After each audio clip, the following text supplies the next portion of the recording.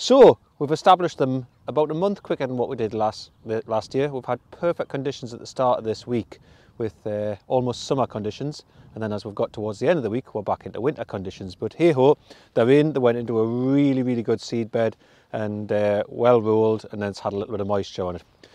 The way we've done them this year is we've done them slightly different. As I mentioned at the end of last year, we established cover crops in this field because as part of our sustainable farming uh, and trying to reduce nitrogen usage on these on, on all the crops we're growing, which is very topical given the cost of it at the minute, we actually put this cover crop in to try and help soil structure, soil biology, everything about what we're trying to do to try and improve the fertility in the soil so that when we, we don't have to have the reliance on nitrogen top-ups.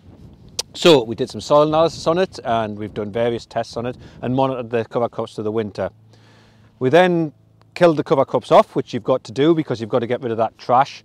And then the field was cultivated, which was a saving again on the normal plough and cultivate system. So it was cultivated with a mixie drill, mixie, mixie press um, thing, which incorporated all the trash down below where we are with the seeding. And then on Monday, we drilled the trials. We've got 18 varieties in again um, ranging from distilling, brewing, general purpose, across across the board with some of the old favourites and some of the new ones coming through as well. And there's quite a selection to go at this year.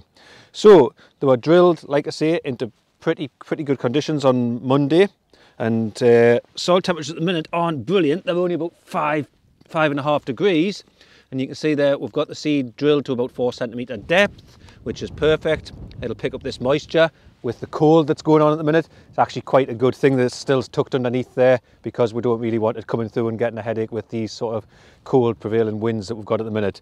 But I think a bit of warmth under these things and they'll, they'll germinate fairly quickly and move on because the moisture's there now, the heat's, heat will obviously come and hopefully in a couple of weeks time we'll see that. When we put them into the, when we drilled them, we put, like I mentioned, we're looking to reduce the nitrogen. So we've only actually put 70 kilograms of nitrogen at this this year which is a lot less than what we'd normally be using. So we're reliant on that nitrogen having come from our cover crops and improving our soil biology. So that was applied more or less at the, at the same time as drilling.